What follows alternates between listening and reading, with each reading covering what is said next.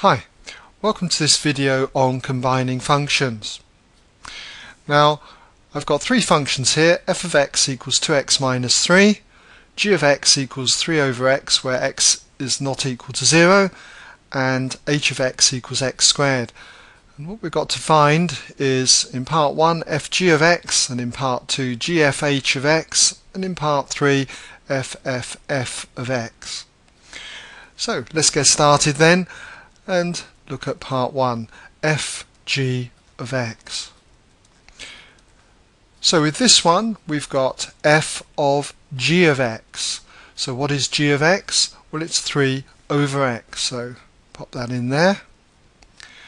So now we need to do f of 3 over x, so that means wherever we see an x in f of x, we replace it with 3 over x. So that's going to be 2 times and here we have the x so that's going to be replaced with 3 over x. And then we have minus 3 and if we simplify this what we end up is 6 over x minus 3 so that's fg of x. Now we'll look at example 2 then. In part 2 we have gfh of x. So g f h of x. What we have now is gf of h of x and h of x is x squared. Next we have g of f of x squared. So again we have to replace any x in f of x with x squared.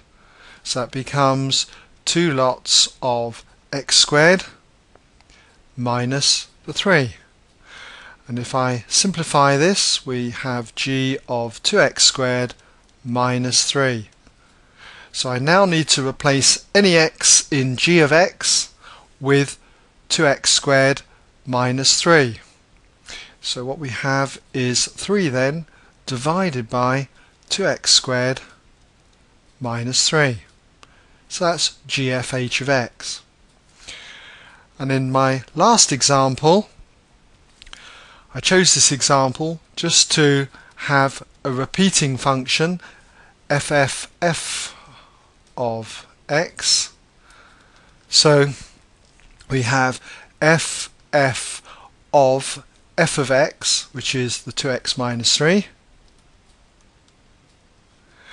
Now I need to have f of f of x being f of 2x minus 3 so I replace any x with 2x minus 3 and so we're going to have two lots of 2x minus 3 minus another 3.